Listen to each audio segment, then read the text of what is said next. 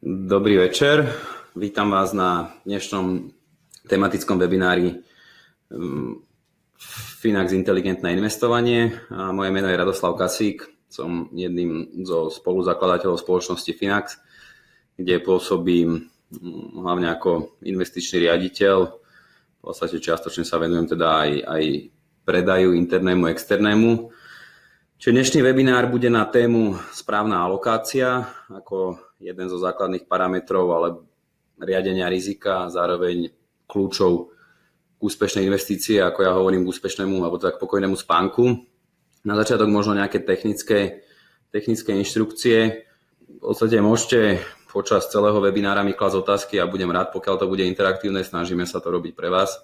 Snažíme sa vám teda um, pomáhať nahliadnúť do hĺbky investovania.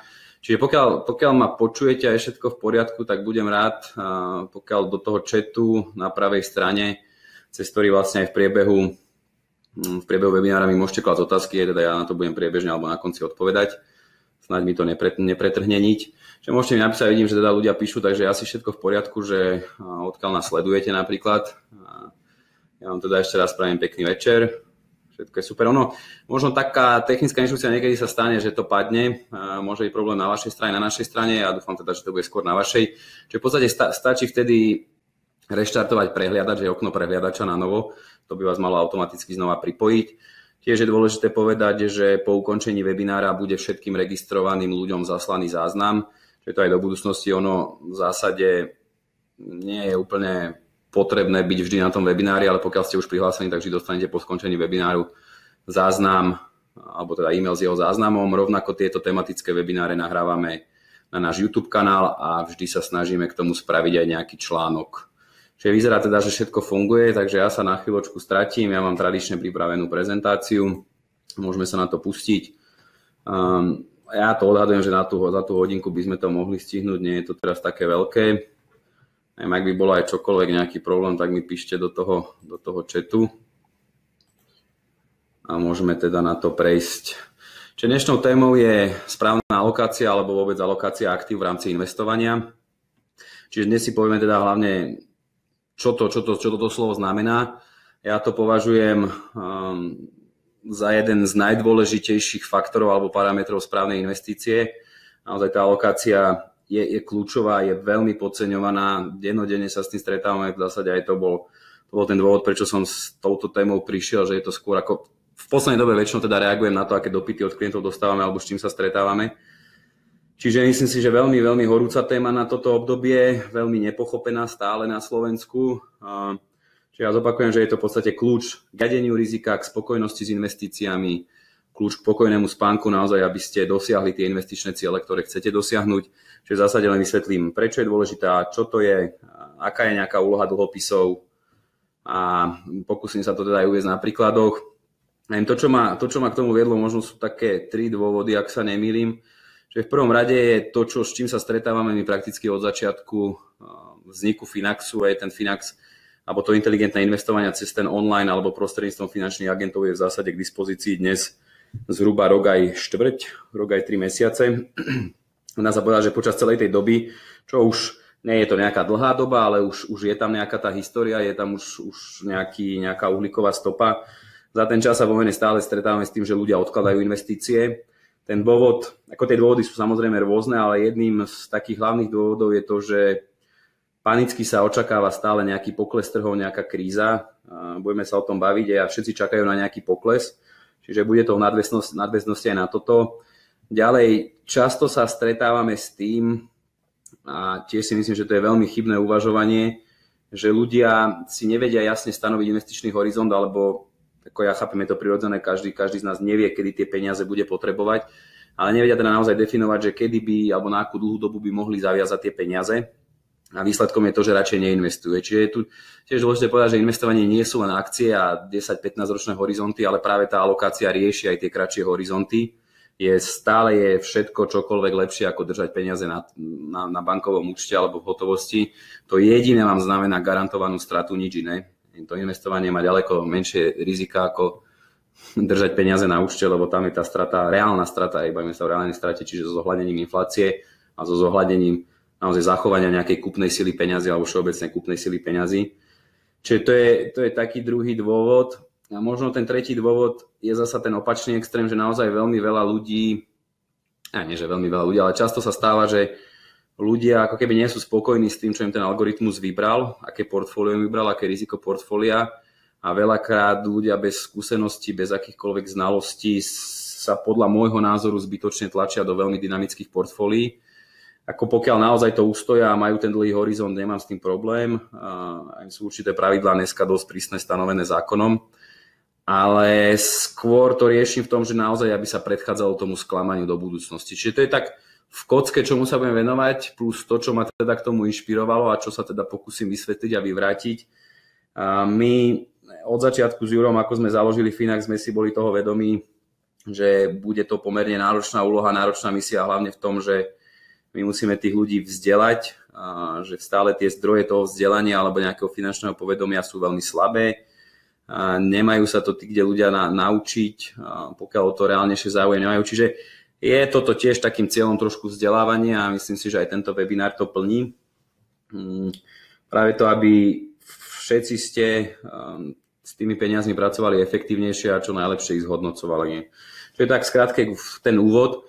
A ja hneď začnem teda takouto palčivou témou, lebo mám pocit, že naozaj posledné mesiace, ak tie akcie vystúpali zasa na nové vrcholy, americké akcie, tak e, zasa je tá téma nejakého prepadu alebo krízy väčšia ako viaceré možno aj investičné banky, možno aj nejakí portfólio manažery začali trošku hlasnejšie komunikovať um, tú krízu. My všeobecne chceme ako od tohto abstrahovať. Ja som 10 rokov sa venoval aktívne riadeniu portfólia a si myslím, alebo dospel som po tých 10 rokoch záveru, že naozaj snaha predvídať a časovať trhy je šarlatánstvo a ako ono sa to vždy trafí, vždy sa to dá nejakým spôsobom, akože trafí skôr teda tak náhodou, alebo proste, že raz to príde.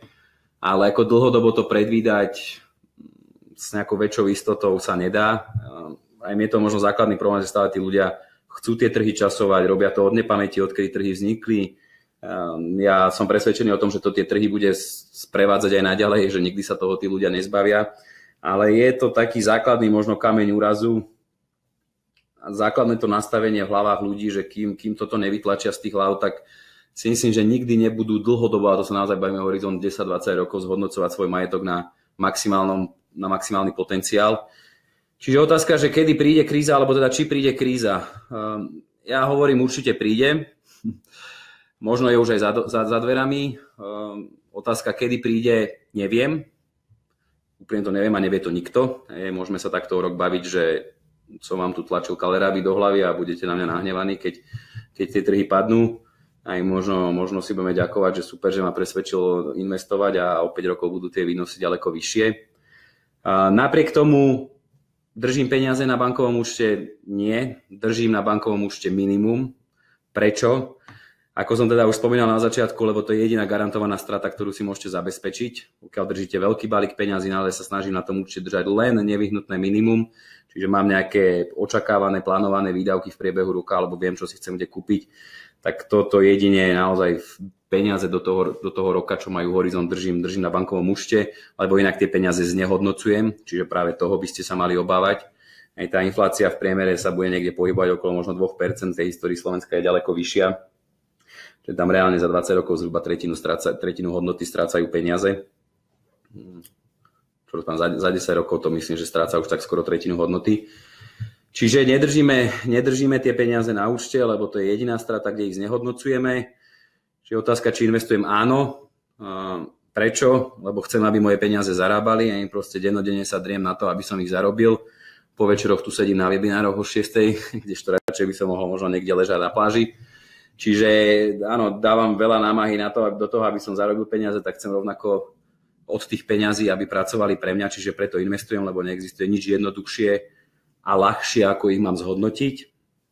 Ako investujem, hlavne teda pasívne a hlavne pravidelne a nebojím sa trhov. Čiže to je, to je za mňa a takto by ste mali pristupovať k tomu aj vy. Ja vám ukážem teda ďalej, že ako sa to dá riešiť, že naozaj to investovanie nie sú len akcie, alebo neznamená to len hore-dole, ale dá sa k tomu naozaj, naozaj pristúpiť zodpovedne alebo nejak tak rozumne by som povedal. Tiež je dôležité povedať, že naozaj viem, musím si vedieť, ako keby tie peniaze alokovať, aj, že dať, dať každým peniazom nejaký čas, neznamená, že investujem, že všetko, čo zarobím, alebo gro toho, čo zarobím, tak, tak vražam, vražam do akcií. Je tam proste nejaká zdravá, rozumná miera, tiež mám nejakú spotrebu, takže o tom sa, o tom sa v podstate budeme baviť. Čiže akože v zásade z toho vyplýva, že sa nebojím krízy, mm, doslova si dovolím teraz tvrdiť, že tým, že v podstate som začal na novo investovať po nejakej pracovnej prestávke, tým, že väčšina peňazí išla proste do biznisu, čiže, čiže dá sa povedať, že som znovu na začiatku, že som svoje investície vynuloval a doslova vítam tú krízu, aj, lebo ja investujem pravidelne, čiže znamená to, že na začiatku v podstate môjho investičného horizontu by som nakupoval lacno a nakupoval by som dobre. Čiže pokiaľ investujete pravidelne, nič lepšie sa vám nemôže stať, pokiaľ tie trhy padnú, padnú výraznejšie. A tu je v podstate aj krásny dôkaz. To sú teda moje, moje tri účty vo Finace. Ja som v podstate si zakladal tie účty, ani dá sa povedať, že nie všetky, hlavne za ten prvý. Um, pri vzniku Finaxu, čiže tá história je tam niečo cez rok aj 3 mesiace, rok aj štvrť. Um, práve ten, ten uplynulý rok aj štvrť je si myslím aj dobrým, dobrou ukážkou a dobrým príkladom toho, aké investovanie má zmysel, alebo vôbec to investovanie, že má zmysel a potvrdili sa aj všetky tie pravidlá, ktoré my sa snažíme dennodenne komunikovať vám, našim klientom alebo aj potenciálnym klientom. A práve ten vývoj bol pomerne dosť volatilný, dosť, dosť turbulentný. Hej, zažili sme pomerne veľký prepad, kde tie akcie naozaj v priemere sa blížili k stratám 15% na konci minulého roka. Hneď nasledoval prudký rast. Ten koniec minulého roka naozaj vyzeral veľmi zle. V podstate väčšina ľudí bola skeptických. Ale či toto chcem len ukázať, že tie trhy sa nedajú predvídať, nikto nevie, kam pôjdu. Tak, tak ako na začiatku roka absolútne nikto nečakal, že môžeme o pol roka sa baviť o tom, že budeme mať dvojciferné zisky na 20%. Takisto rok dozadu nikto neočakával, že vlastne ten rok 2018 bude stratový a to je, to je v podstate celá pointa toho, prečo, um, prečo ako treba úplne abstrahovať od tohto vypnúť, lebo vám to len škodí. Hej. To sú presne tie emócie a rozmýšľate nad tým jedno s druhým. A je tu krásne vidieť, že napriek tomu, ak bol ten ťažký rok, tým, že dodržiavam tie základné pravidlá, je to krásna, by som povedal, že pes na oko, ukážka toho pre všetkých tých skeptikov a odkladačov investícií, ako stále, vrajme, môžeme sa zase takto o pol roka baviť, že tam bude svietiť minus ja 30%, 40%, to sa pokojne môže stať, ale, ale nič to nemení na tom, že tie trhy sú nepredvídateľné investovať treba, lebo s ničím iným tak pohodlne nedosiahnete taký výnos. A ja si myslím, že za rok aj štvrt vzhľadom na to, čo tie trhy spravili, práve vďaka tej pravidelnosti mojich investícií, kde posielam zhruba po 50 eur na tie účty, niekedy trošku viac, a ten, ten výnos je určite veľmi slušný a nadpriemerný. A zároveň oslobodený od dane. Čiže to je len toho ukážka, že aj od začiatku naozaj veľmi veľa ľudí, ktorí proste naštívia našu stránku, napíšu nám, často sa stretávam tým, že povedia, že wow, super, že určite, určite si u vás otvorím účet, ale počkam na korekciu a podobné veci Čiže prakticky tí ľudia, keby investovali pravidelne, dokonca keby využili tú korekciu, tak majú už dvojciferné zisky. Už máme, máme klientov, ktorých zisky naozaj sa približujú niekde 20%. Poviem, to sú hlavne takí tí jednorazoví, decembroví, januároví. Takže presne je to o tom, že tá šanca, že to trafíte, je úplne minimálna a treba hlavne investovať. A aj mám už nejaké skúsenosti, si myslím, s tým investovaním. Zažil som rôzne časy. Tu mám pripomienku, ten druhý účet má u mňa Plus áno, je to založené tým, že teda stále sa pokúšam prestať fajčiť, obmedzil som to, ale ešte stále to nie je úplne. A práve, že tie peniaze, ktoré ušetrím, posielam, posielam na ten účet. Takže áno, aj prestal som piť kavičky po kaviarniach, ale už len radšej v práci alebo, alebo doma. A to, čo ušetrím, akože to je zase krásny dôkaz toho, že kde sa dajú nájsť tie peniaze na investovanie. A reálne toto vedelo byť u mňa aj 100 eur mesačne Čiže vedia to byť pekné peniaze za, za určitý čas. Okay. Takže ďakujem, som rád, že som vás potešil. A tu je ukážka toho, že ako to asi vyzerá pri tom poklese alebo pri tom vývoji trhov. Ukradol som si tento graf od Vlada Jurika z peniaze sú čas. Snáď mi to odpustil, alebo teda požičal som si, povedzme to. Hmm. Ako toto je naozaj typické správanie emočné, emočné investora. Ja vám teda nechám chvíľku čas, že, že by ste si to prečítali, ale v zásade to znamená, Presne, človek sleduje trhy, rastie to, nervózny je, že nie je zainvestovaný, nakoniec po dlhšom tápaní zainvestuje. Ako fakt to je, 90% ľudí takto funguje. Špekulantov, ja to nazývam, že to je presne to špekulovanie. Potom je uspokojený, že ak dobre kúpil, aj možno to bude aj môj prípad za chvíľku, len ja budem pravidelne investovať aj pri tom poklese.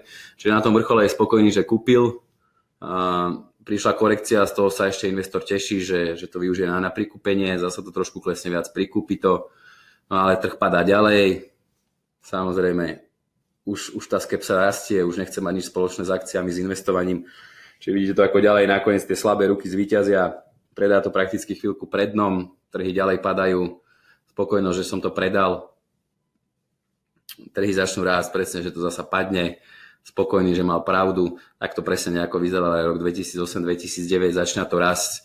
Strašne dlho väčšine ľudí trvá, kým sa zasa presvedčí, že to rastie väčšinou už, už teda neskoro, potom už začajú rozmýšľať nad tým, či už to nenarastlo moc. Čiže takto to funguje medzi ľuďmi a to sú presne tie emócie, ktorým sa neviete vyhnúť a prečo neviete investovať. Preto aj napríklad, keď mne niekto povie, že si počka na pokles, ja netvrdím teda, že to nikto nedokáže, je veľa takých ľudí, ktorí to nakúpia, ale tá, tá, tá spokojnosť alebo tá šanca trafiť to dno a vrchol je úplne nulová je to skôr fakt, že náhoda, ako to, že je to nejaký um.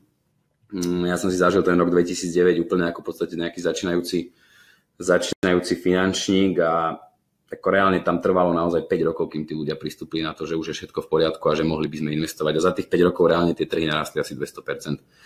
No tiež presne, sme sa dneska s kolegami o tom bavili, že práve tie dná bývajú väčšinou ostré. A spomínali sme na to, že vlastne to dno v tomto decembri bolo Myslím, že to presne vychádzalo na štedrý deň, alebo štedrý deň, myslím, že v pondelok alebo v piatok bolo to dno a presne okolo toho dna je vždy najvyššia volatilita. Je, že jeden deň trhy padli 5% a druhý narastli 7%. A je zaujímavé, že práve vy, keď vymeškáte len, dá sa povedať, zrelý, akože z toho rastu trhov 1-2 dní, tak prichádzate častokrát do veľkú časť, tretinu, pokojne aj polovicu nejakého rastu. Či tu sa bavíme, že tie americké trhy spravili od toho dna niečo cez, cez 20%, keď ste z toho odrátali tých 7%, to nie je ani 13, lebo to sa v podstate počíta cez zložené úročenie. Čiže vy ste hneď pripravení takmer o polovicu, takmer o polovicu toho výnosu. Takže to je, to je, to je k tomu investovaniu, že prečo sa to nedá časovať. A čo práve chcem ako povedať je, ako, ako treba riešiť to riziko tých investícií. Čiže tu je nejakých 5 základných bodov. Čiže v prvom rade je to naozaj dodržanie časového horizontu a určenie správneho časového horizontu. Ako je pravda, že investície potrebujú viac času. A u mňa je to tak, že minimálne tie 3 roky, ideálne 5 rokov a viac, najideálnejšie 10 rokov a viac. Čiže to je základný predpoklad úspešného investovania, že musíte sa čas peniazy, alebo musíte vedieť čas peniazy alokovať na dlhšiu dobu. Uh, druhým takým nástrojom na riadenie rizika a veľmi účinným je práve tá správna alokácia, ktorej sa dneska budeme venovať. Uh, ďalší nástroj je diverzifikácia. K tomu som mal tiež webináre a myslím, že to bol dva mesiace dozadu. Viete ho nájsť aj na, teda na tom našom YouTube kanáli, aj článok k tomu, mm, k tomu na našej stránke medzi blogmi. Teraz som v podstate rozprával neustále o emóciách a o snahách predvídať trh, to proste nie je o ničom inom.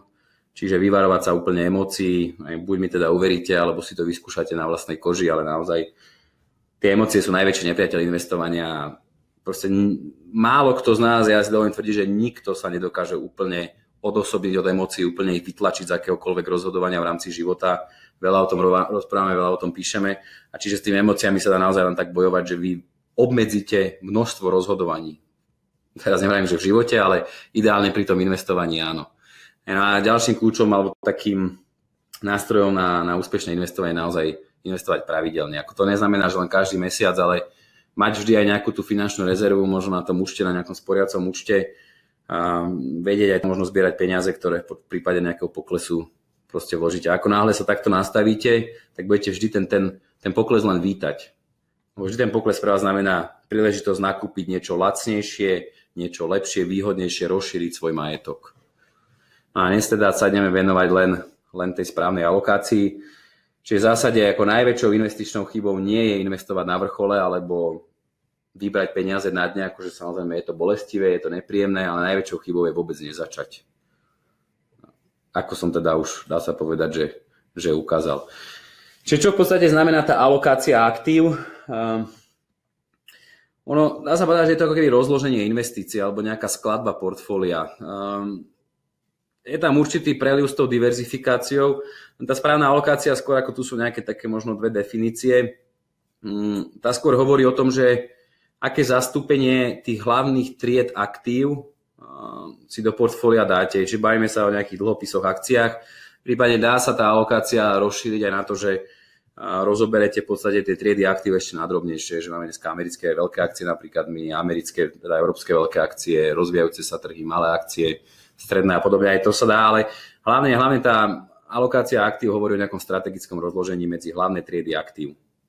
Hmm. Cieľom vlastne tej alokácie je v podstate nájsť, ako ono, niektorí to aj označujú aj za investičnú stratégiu, je nájsť taký balans, také vyrovnanie alebo vyváženosť medzi podstupovaným rizikom a očakávaným výnosom. Čiže práve tá alokácia vám umožňuje nájsť to, čo je pre vás vhodné. Čiže som ochotný podstúpiť nejaké riziko, mám nejaký horizont a k tomu chcem nejaký výnos. Samozrejme, tam je trošku problém niekedy, že veľa, veľa začínajúcich, ale aj skúsených investorov, veľa investorov má očakávania, ktoré sú mimo realitu. Hej. Proste nemôžem očakávať výnosy 10-15% s tým, že nepostupím žiadne riziko. Čiže toto tiež pomerne často opakujem, výnos a riziko idú ruka v ruke. Dá sa to trošku riadiť, dá sa nejakým spôsobom eliminovať riziko, ale proste základný, základné pravidlo pri investovaní je to, že tá investícia si na seba musí zarobiť. Čiže to neexistuje, že vám dá niekto 10% len tak. On ich musí tých 10% zarobiť, aby ešte dokonca musí zarobiť viac, lebo z pravidla očakáva, že niečo chce, aby aj pre neho ostalo. To teraz nemyslím Finax, ale myslím to, čo už napríklad kupujete tie akcie alebo keď požičiavate cez dlhopis peniaze. Takže to musí na seba niečo zarobiť a čím chcete zarobiť viac, tak tým spravidla je ten biznis riskantnejší. Takže toto si treba uvedomiť a preto je ako niekedy pomerne náročné aj nájsť taký ten balans a treba mať tie očakávania naozaj, naozaj reálne a stáť nohami na zemi. Čiže asi tá druhá investícia, je tak, tá, tá definícia je taká pekná, že investičná stratégia, ktorej cieľom je vyvážiť riziko a výnos portfólia jeho vhodným zložením. A to zloženie sa prispôsobuje individuálnym investičným cieľom, schopnosti tolerovať riziko alebo znášať riziko a samotnému horizontu. Čiže to je skratke tá alokácia, že možno zjednodušene povedané je v podstate dá sa povedať, že zastúpenie, v podstate je to aj tu na tom ďalšom slajde, je zastúpenie základných tro, troch tried aktív. Jako my, matadori investiční, v podstate za základné triedy aktív považujeme len tieto tri. Neviem, že sú všetké deriváty, ďalej komodity, bitcoiny a neviem čo všetko, ale to už sú také len fantasmagorie trošku. Čiže reálne naozaj skutočnými aktívami podľa mňa sú len akcie, dlhopisy alebo potom hotovosť. Čiže akcia, vieme čo je, je nejaký cený papier, ktorý vyjadruje majetkový podiel na firme. Tie akcie historicky dosahujú najvyšší výnos, čiže dá sa s nimi najviac zarobiť, podľa mňa sú to najlepšie aktíva, ale zároveň tá kolísavosť tej ceny alebo hodnoty tých akcií je najvyššia, čiže dá sa povedať, že tie výkyvy, prepady, rasty sú, sú najvýraznejšie. Dlhopis je cenný papier, ktorý stelesňuje nejakú pôžičku buď firme alebo štátu. Tie výnosy dlhodobé dlhopisov sú zhruba polovičné, teraz pravdepodobne do budúcnosti alebo s predlžujúcim sa časom budú ešte nižšie oproti akciám, ale dlhopisy sa teda považujú všeobecne za bezpečnejšie cenné papiere, menej rizikové, to znamená, že aj tá kolísavosť je, je nižšia, ale zasa adekvátne k tomu je aj nižší výnos. No a tretím, tretí nástroj alebo aktívom je hotovosť, čiže to je klasika, čo držíte hotovosť v peňaženke vo vankuši alebo teda na bankových účtoch. Hotovosť vám negeneruje žiadny výnos, reálne vám generuje len tú stratu, lebo Dlhodobo sú výnosy alebo úroky na bankových vkladoch podstatne nižšie ako inflácia, čiže to znamená, že to je vedomá istá strata, ale zase na druhej strane nemajú teda žiadnu volatilitu, žiadnu kolísavosť, že tá hodnota sa reálne nemení. Ako reálna hodnota sa mení, ale tie, ten, ten objem kvázi, kvázi nemení, nemení hodnotu. No a alokácia presne hovorí um, v zásade len to, ako, ako rozložíte tú svoju investíciu medzi tieto tri, tri, tri triedy aktív.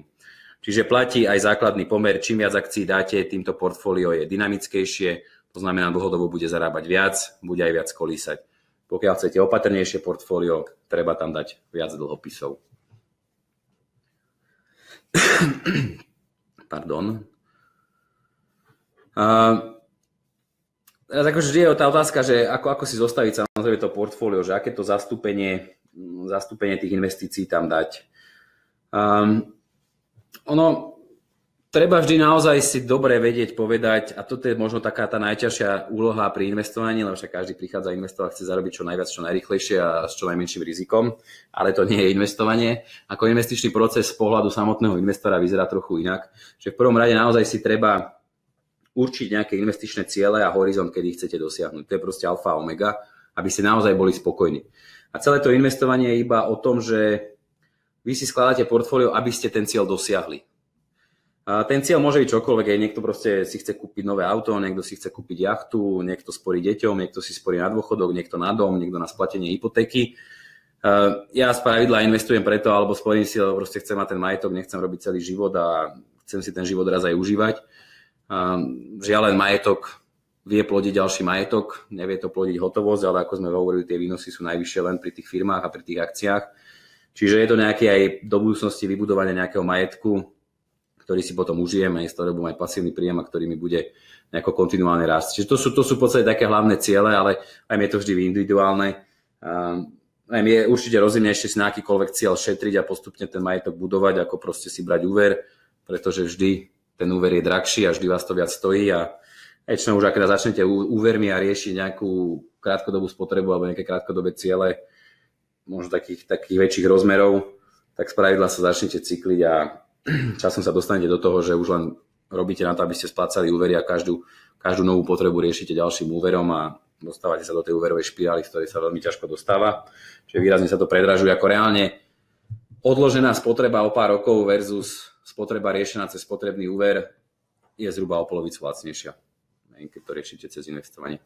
Čiže v prvom rade treba mať ten cieľ, hej, a kedy ho chcem dosiahnuť. Potom si treba ako keby stanoviť výnos, aký potrebujem. A tu je práve t- takéto ošemetné, že do akej miery mám tie svoje očakávania reálne. A, a vždy to treba porovnať aj s tým rizikom, ktoré chcem podstúpiť. Čiže keď chcem dosiahnuť, ja neviem, z 10 tisíc za 10 rokov 20 tisíc eur, čo je v podstate 100% rast, a nie som ochotný podstúpiť žiadne riziko, že nezvládnem, že moja investícia bude v čase kolísať, jej hodnota bude kolísať, tak automaticky je ten, ten, ten cieľ pre mňa nereálny. Čiže to je, to je práve taká tá ťažká úloha, um, učiť si teda to riziko, aké som ochotný podstúpiť na tom danom horizonte a čo najviac to teda napasovať tomu potrebnému výnosu. Mm. No a potom následne vlastne podľa tých parametrov, že keď už mám očakávaný výnos a mám akceptovateľné riziko, tak vyberám správnu alokáciu. Čiže reálne skladám to portfólio ktoré mi umožní pri tom mojom akceptovateľnom riziku dosiahnuť ten cieľ a dosiahnuť ten výnos. Čiže tomu sa prispôsobí tá alokácia. A čo tu chcem ešte vyzdvihnúť je práve to, že investovanie nie sú len akcie. Toto ma zaráža, že tí ľudia, teraz písala jedna pani, veľmi veľa mailov sme si vymenili, to bol nakoniec celkom, celkom vtipný aj záver, čiže pani investuje do nejakého amerického podielového fondu, akože na americké akcie a ako uviedla, že má teda 5-ročný horizont na konci a že proste etf sa jej zdajú teda dlhodobé a že, že ona radšej ostane v tom fonde, lebo ten tam má to riziko nejak uvádzané 5 na tej stupnici. A tak za celkom pousmiala, že však v podstate sú to akcie, že navyše tam ešte znáša vyššie poplatky, znáša dane, navyše tam znáša to riziko toho manažera. A ide o to, že aj na ten krátky horizont sa dá investovať. Proste presne to je tá úloha tých dlhopisov. Keď mám kratší horizont, tak si, si spravím také portfólio, ktoré je konzervatívnejšie, že ktoré, ktoré reálne na tom danom horizonte mojom historicky dokáže zarobiť, dokáže byť v pluse, nemá také veľké straty. Čiže toto je jedna vec. Hej. A druhá vec, neriešim proste 5-ročné cieľa alebo peniaze, no však uvidím, či ich budem potrebovať, neriešim to proste 100% akciami, ale neznamená to, že nemám investovať. Čiže aj sú prípady, že teda tí ľudia radšej to nechajú v banke, niekde si teda nechajú znehodnocovať tie peniaze, ale proste sú aj portfólia. Dám si 30% akcií, 70% dlhopisy a to tam ešte budem aj neskôr ukazovať, že aká je tá volatilita toho portfólia, aký výnos. Stále je to určite lepšie, ako proste držať tie peniaze, peniaze v tej banke. Čiže o tom je tá alokácia naozaj, to investovanie je veľmi široké. My sme aj preto vlastne celý ten náš systém zostavili, ak sme zostavili. Ja hovorím, že neexistuje človek, lebo však každý rozumný človek odkladá peniaze a nemíňa ich Čiže neexistuje druh človeka alebo nejaký taký rizikový profil alebo charakter, ktorý by si u nás nenašiel to svoje. Ako, dobre, peniaze do dvoch, troch rokov by som asi nedával do Finaxu, asi by som ich skôr držal naozaj v tej banke, ale už všetko na 3 roky pokojne sa môže ísť, lebo sú, sú rôzne portfólia, o tom sa ešte, o tom sa ešte budeme baviť. Mám tú otázku. Zaujímalo by ma, ako je možné predať pozíciu vo Finaxe pred dohodnutým investičným horizontom. Úplne jednoducho, že u nás, u nás tie peniaze nie sú viazané. To je, ako my sa na ten horizont pýtame práve z tohto, z tohto dôvodu, čo sa tu teraz bavíme, aby sme vám vybrali správne portfólio, ktoré naozaj pasuje vašej situácii, vašim cieľom, vášmu rizikovému profilu, vášmu vzťahu k riziku. Plus ďalšia vec je to, že dnes to zákon vyžaduje pri riadených portfóliách, v podstate pri každej investícii vy už musíte dnes vyplňať investičný dotazník a zodpovedať ten horizont, aby ste teda aj reálne podľa regulátora, ktorý to kontroluje, aby ste dostali to, čo je pre vás, pre vás vhodné. Ale platí to, že vy ste stále konečným vlastníkom tých cených papierov, my v podstate vám vedieme len majetkový účet, na ktorom vám teda riadíme ten majetok podľa tej zmluvy o riadení portfólia, ktorá nám teda dáva mandát riadiť vám ten majetok podľa nejakej investičnej stratégie, ktorá je súčasťou tej investičnej, teda tej zmluvnej dokumentácie. Ale vy ste teda konečným vlastníkom a vy si môžete s tým majetkom disponovať. Čiže pokojne, ak ste, ak sme vás minulý týždeň zainvestovali, kedy bol investičný deň, vy pokojne o dva týždne môžete tie peniaze vybrať, to je, to je vyslovene na vás. Ja samozrejme odporúčam dodržať ten horizont, a, lebo to je presne to, o čom sa bavíme, že pokiaľ sa ten horizont dodrží, tak celé to investovanie je zbytočné. A to mám tiež teraz pocit, že viacerí ľudia majú tendenciu, ako náhle tam vidia celkom slušné zhodnotenia a niekde si prečítali, že teda príde tá kríza, a zasa príde ten prepad, tak radšej to vyskočiť z toho rýchlo a vybrať tých 6%, ale to celý efekt investovania je stratený. Tým to je úplne zbytočné, to ani nemuseli riešiť.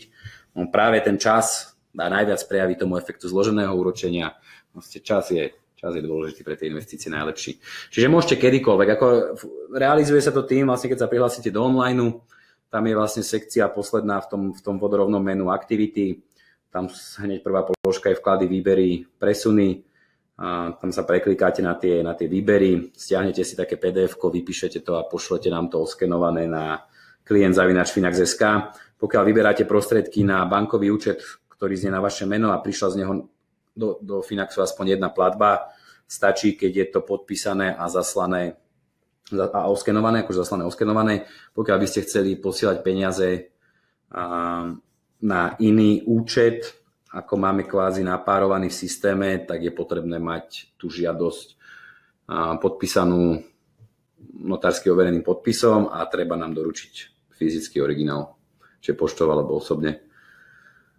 Ale vrajme, môžete, môžete kedykoľvek. Čiže ten horizont absolútne nie, nie, ani neplatí to, že keď dosiahnete horizont, že vám v podstate ukončíme tú zmluvu a pošleme vám peniaze, vy môžete pokojne pokračovať ďalej, že skôr ten horizont slúži naozaj na to, aby sme vám vybrali správnu alokáciu portfólia aby naozaj to bolo to, čo pre vás tak najviac pasuje.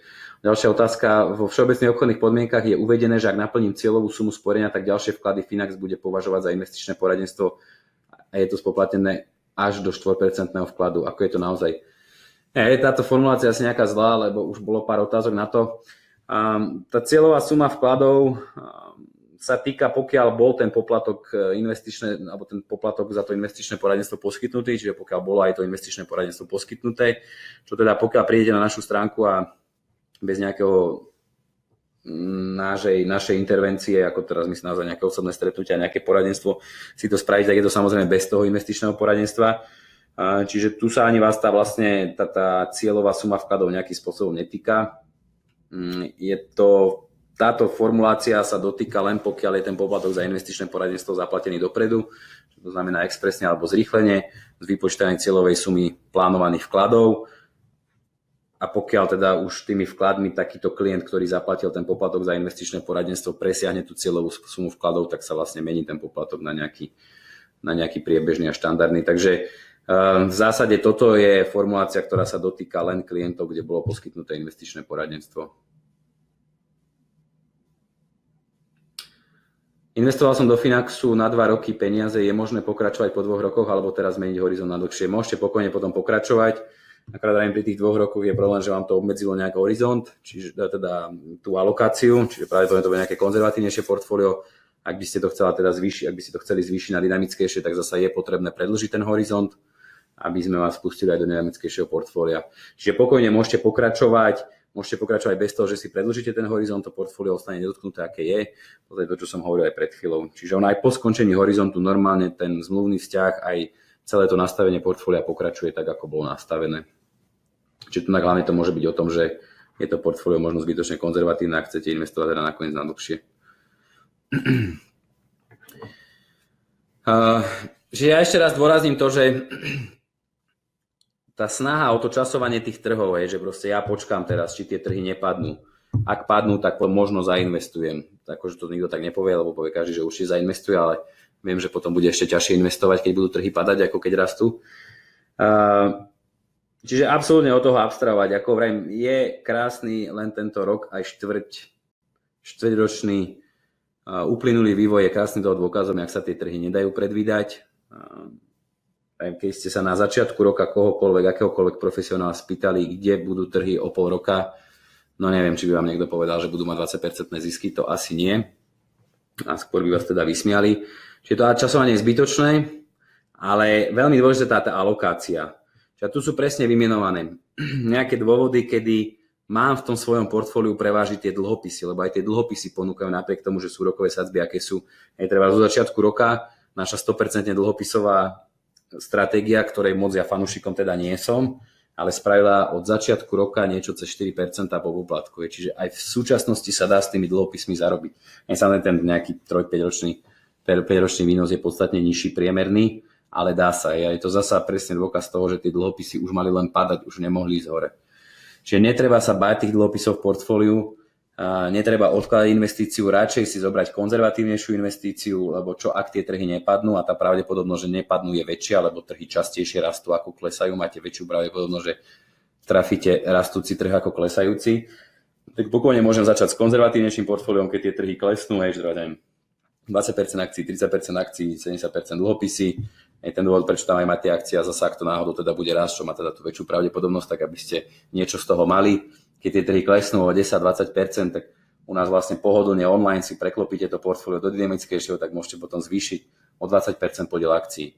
Čiže pokiaľ sa obávate poklesu trhov, je lepšie radšej investovať do konzervatívnejšieho portfólia ako neinvestovať. No, tým neinvestovaním si garantujete tú stratu, kdežto tu máte veľkú pravdepodobnosť, že zarobíte. Čiže to isté platí, pokiaľ sa bojíte investovať, pokiaľ ste začiatočník, pokiaľ tomu nerozumiete, napriek tomu ste si vedomi, že mali by ste s tými svojimi úsporami niečo robiť, nejakým spôsobom ich začať zhodnocovať, tak si vyberte konzervatívnejšie portfólio, zoznámite sa s tým, jak to funguje.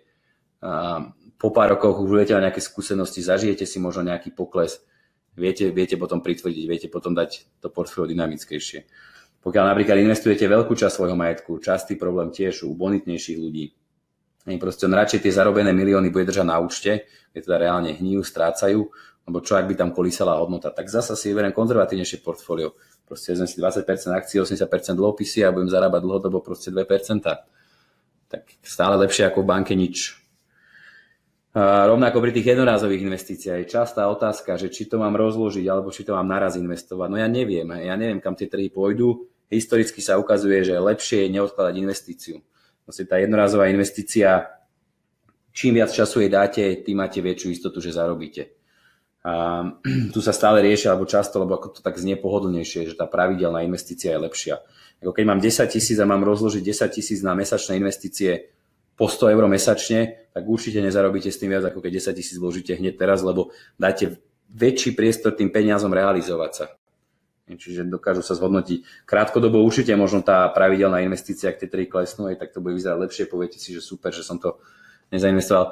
Pripravíme aj k tomuto nejaký webinár, na to sú fakt krásne štatistiky, že keď už to predlžíte na 10-15 rokov, tak vždy tá jednorázová investícia nakoniec zarobí viac, lebo väčšia časť peňazí alebo všetky peniaze pracujú dlhodobo alebo dostali väčší čas.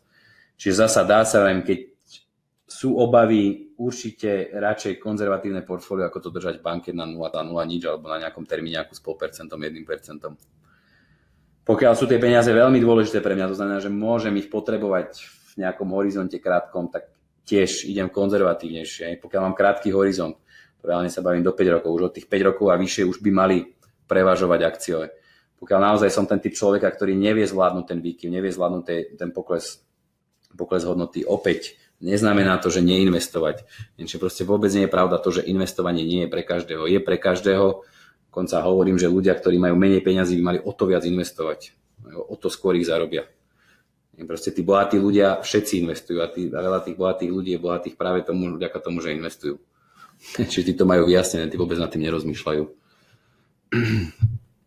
Čiže akože čo tým chcem len povedať, že naozaj, že není investovanie len 100% akcie, ale proste sledovanie akciových indexov a akciové poklesy, ale dá sa investovať aj postupne pomalšie a opatrnejšie.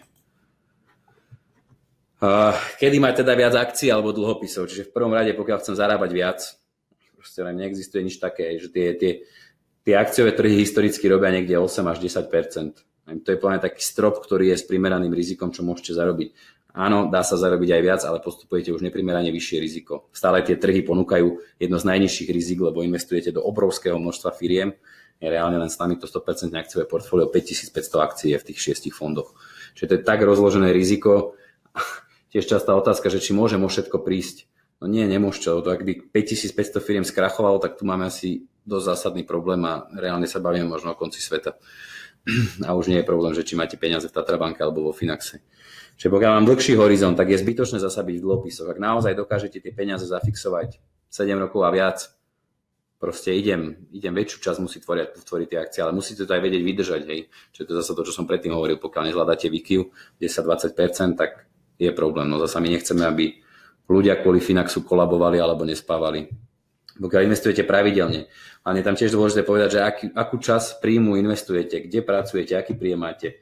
Proste ja uvedem dnešný príklad, aj ste nejaký IT špecialista, programátor, ten príjem sa pohybuje radovo niekoľko tisíc eur mesačne a viete, že keď by ste prišli o prácu, tak behom dvoch hodín máte inú a možno ešte lepšie zaplatenú a popri tom investujete naozaj 5% alebo menej príjmu, jasné, že idem dynamicky, proste nie je o čom, lebo dokážem, dokážem tie iné krátkodobé výdavky a tú rezervu vykryť absolútne z niečoho iného.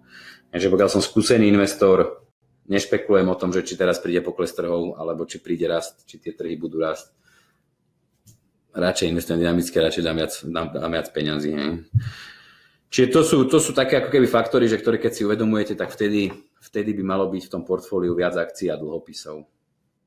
A teda ako dlhopisov, pardon.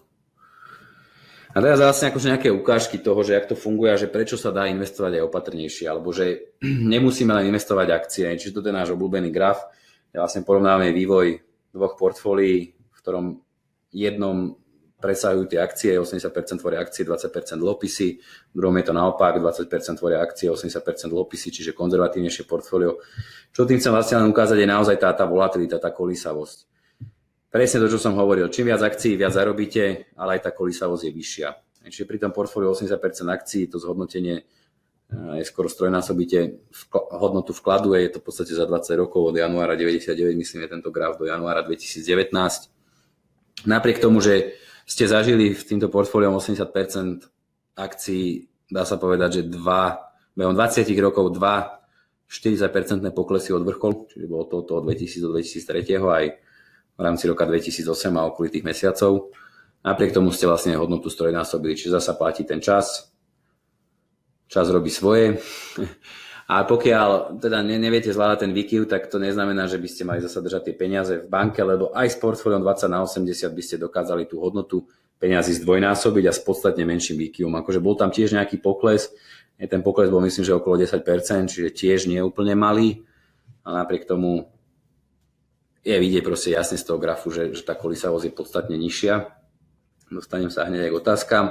Možno niečo také z tej uplynulej doby, či toto sú reálne vývoj dvoch jednorazových účtov, či skutočných účtov našich klientov. Jeden má v podstate jednorazovú investíciu v portfóliu 50 na 50, druhý má jednorazovú investíciu 100% akciovom portfóliu. Ten graf je od septembra 2018, kedy v zásade bol ten vrchol trhov a potom nasledoval trojmesačný pokles až do konca júna.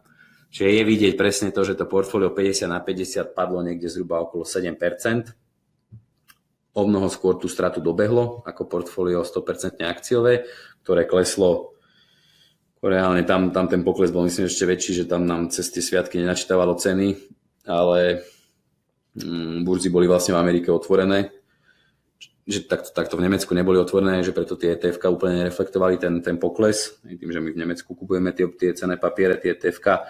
Ale ten pokles tam bol aj niekde okolo 13,5%, a ono možno v skutočnosti, len keby to nebolo cez Vianoce, tak by bol možno aj 15% ten pokles, že tam bol ešte taká tá rovinka na dne, tak tam ešte bol taký dip väčší pokles.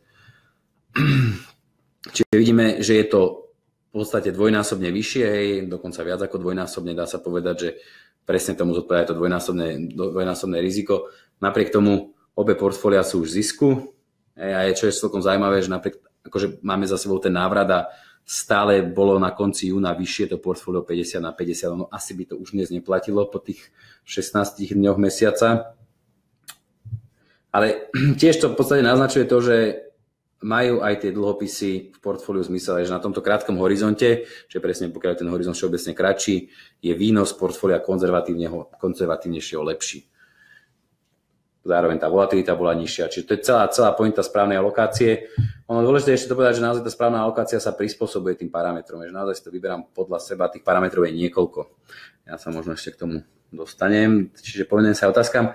Mám vás sporenie pre deti, chcem si založiť účet na dôchodok. Mám 31 rokov, čo znamená, že cca 33 rokov do dôchodku. Odporúčate taký horizont 100% akcie a ku koncu to prekladá do, do dlhopisov, niečo ako v druhom pilieri.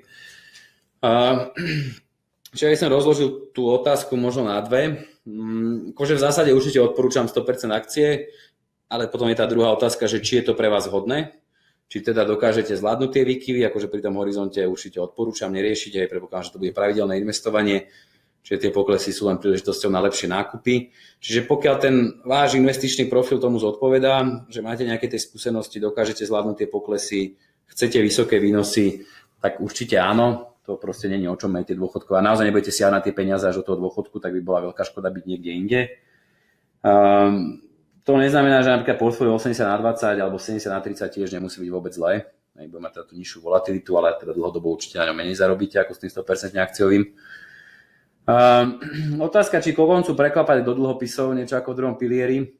Presne tomu budem venovať webinár o, o mesiac, čiže možno len v krátkosti. Nie som ja veľkým fanúšikom tejto stabilizačnej fázy nie som ani fanúšikom toho a považujem to najväčší nedostatok druhého piliera je vôbec to preklápanie a potom tá výplatná fáza.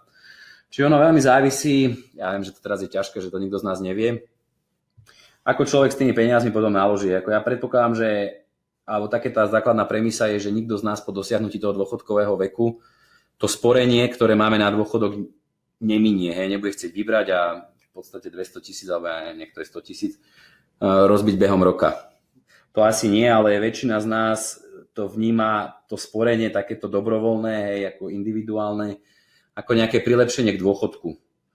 A v takom prípade, teda aspoň ja to tak vnímam u seba, že radšej si nechám vyplácať nejakú tú rentu postupnú.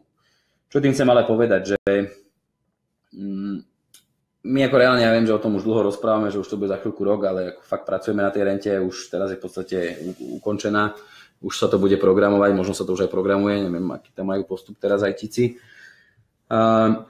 Čiže my pripravujeme presne aj výplatné portfólio práve z tohto dôvodu, že veľa ľudí u nás si šetrí, buď hej, buduje majetok, z ktorého raz chce mať pasívny príjem, alebo si šetrí na ten dôchodok, ktorý chce teda aj reálne dostávať z toho, z toho Finaxu.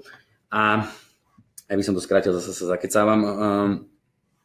Vy napríklad reálne na tom dôchodku môžete žiť 15-20 rokov, ako vstúpite teraz o tej 64, ako tu hovoríte. 15-20 rokov, keď si zarátate, že ten druhý pilier ešte 10 rokov vám preklápa tie akciové investície do tých bezpečných garantovaných, že reálne sa tu možno bavíme o 30 rokoch, kedy vy zbytočne budete veľkú časť, ak nie teda drvivú väčšinu, alebo úplne všetko mať v dlhopisoch. Keď si kúpite anuitu, tak v podstate áno. A je to tak dlhý čas, za ktorý to riziko tých akcií je prakticky nulové alebo minimálne. Čiže z tohto dôvodu ja nie som fanúšikom toho preklápania, je to podľa mňa najväčší nedostatok, ktorý zasa pripraví do veľkej miery tých sporiteľov o veľkú časť hodnotenia. Čiže ja by som bol najradšej napríklad v mojom prípade v druhom pilieri aj tuto na tom účte, že dokonca pôjdem 100% akcií, potom si to preklopím do nejakého 60 na 40, kde sa mi teda ešte ďalej budú tie peniaze zhodnocovať a z toho budem dostávať nejakú pravidelnú rentu, ktorú teda očakávam, že bude v priemere nižšia, ale akože nie je to úplne podmienka, ako bude ten priemerný výnos, v takom prípade by pravdepodobne teda na konci ešte mala byť väčšia suma. Čiže nie som ja fanúšikom, rovnako tá stabilizačná fáza alebo to preklápanie je dvojsečné, akože to sa málo nad tým kto zamýšľa, ale ako dobre, tých 10 rokov je pomerne dlhých v rámci druhého piliera, ale viem, že konkurencia veľakrát predáva 6-7 ročné, 5 ročné tie preklápania, to to nazývajú, že stabilizačná fáza. A teraz si predstavte, že vy v roku 2008 máte treba 6 rokov do dôchodku a vám to teraz začnú postupne preklápať do akcií, jak, jak tie trhy padnú. Čiže reálne trvalo zhruba 5 rokov, kým sa tie akcie vrátili naspäť. Vám, ak by to každý rok preklapali, je o nejakých ja 10-20% do tých konzervatívnych investícií. Vy sa úplne pripravíte o to, že nemáte šancu dobehnúť tú stratu. Čiže vy si reálne týmto preklapením zafixujete tú stratu. My sme naozaj veľmi rozmýšľali na toto stabilizačnou fázou, keď sme to pripravovali a rovnako tak, ako to vie pomôcť, vie to aj uškodiť. Čiže ja hovorím, že skôr je to, skôr je to marketingový ťah a ide hlavne o to, že aj keď do toho dôchodku pôjdete, vy nepotrebujete byť dlhopisový, bo vy reálne môžete mať 10, 15, 20 rokov ešte horizont pred sebou, kedy je škoda mať zbytočne tie investície konzervatívne. Ale vrajím, pokiaľ chcete, tak u nás, u nás to môžete. My ani nevylučujeme, že raz do budúcnosti prídeme s tou stabilizačnou fázou, však ono to nie je nič náročné. že by sa vám to automaticky preklápalo, zatiaľ je to tak nastavené, že si to kvázi musíte sám.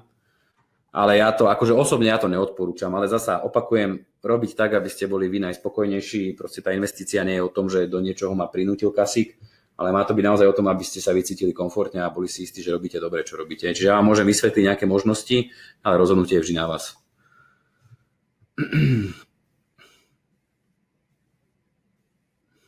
Čo presne mám chápať pod investičným poradenstvom o Finaxe? Napríklad v prípade, že sa obrátim na infolinku Finaxu s otázkou, ktorá môže spadať pod investičné poradenstvo, budem informovaný, že toto už je potrebné riešiť cez platenú službu. Ďaká. V zásade nie, takto to nie je. Um, skôr investičné poradenstvo to, že si nájdeme na vás individuálne čas, vypýtate si nejaké stretnutie, kde možno um, budete ako také to, čo sa dnes bavíme, hej, že vy nám tam odprezentujete možno nejaké investičné alebo nejaké vaše plány do budúcna životné, nejaké finančné plány, nejaké finančné ciele a my budeme spoločne treba hľadať to riešenie.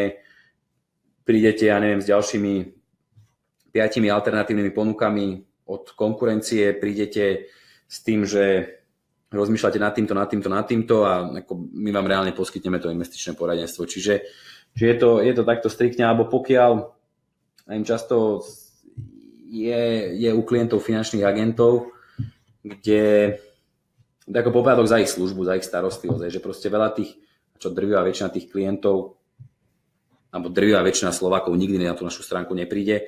Keď aj príde, tak drvivá väčšina tých ľudí si, si nespraví ten účet. Aj.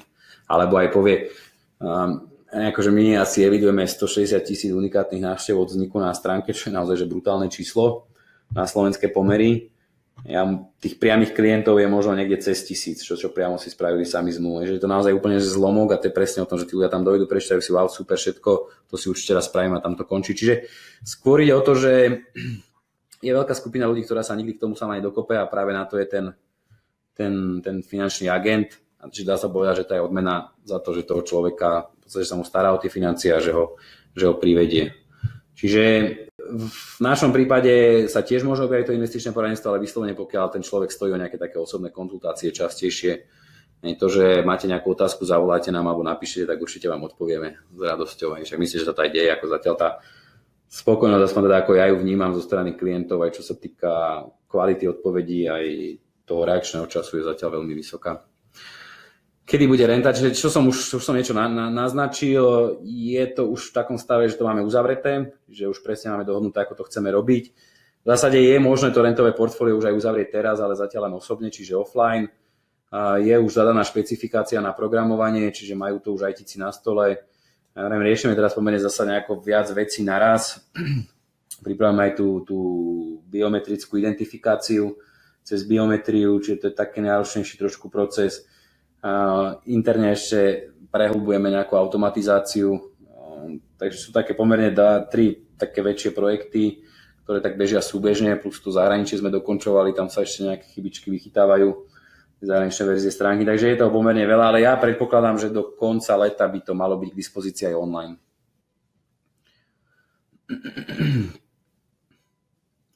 Budete sa podielať aj na priamých investíciách, napríklad predaj akcií, exponát dlhopisov, HB Reavis alebo niečo na tento štýl? Uh, akože je taká predstava, samozrejme závisí to aj od partnera HB Reavis. Uh, ja si myslím, že do veľkej miery nie akože ten samotný náš biznis model a tá myšlienka zaujala pána Chrenka a ľudí okolo, ale aj práve to, že on je pomerne aktívny investor uh, do nejakých začínajúcich firiem alebo ako všeobecne aj do, do teda iných biznisov mimo HB Reavisu.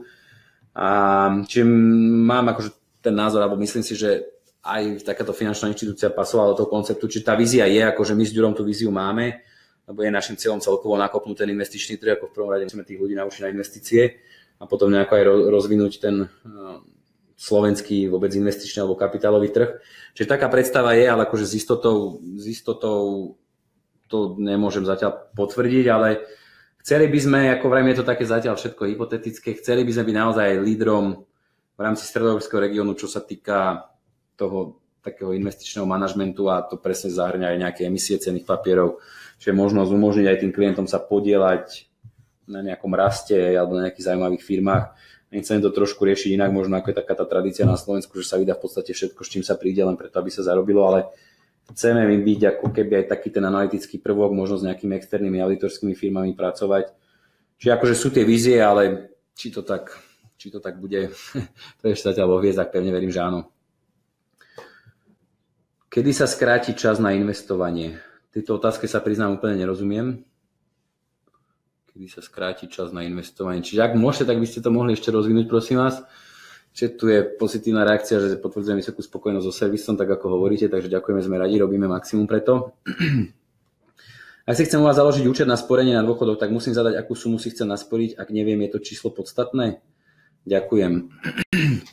Áno, pritom viem, že pri tom dôchodku to nepustí, ono možno je to tak, akože tak náskladne to trošku spraviť, lebo je tam nastavený algoritmus, celkom si myslím, že zaujímavý, hlavne pre väčšinu ľudí na Slovensku, že pokiaľ napríklad zadáte tú, aký máte čistý príjem v súčasnosti, tak vám ten systém vyráta sám cieľovú sumu, ktorú by ste si mali našetriť a to funguje takým spôsobom, že my to máme tak nastavené, alebo chceme, aby ste z Finaxu, alebo vo Finaxi si našetrili takú sumu, že na dôchodku počas 20 rokov budete schopní dostávať polovicu súčasného príjmu mesačne, zvýšeného o infláciu. Čiže každoročnú infláciu, že keď to bude teraz o 30 rokov, tak to reálne nebude, neviem, 1000 eur, alebo je to 1800 eur.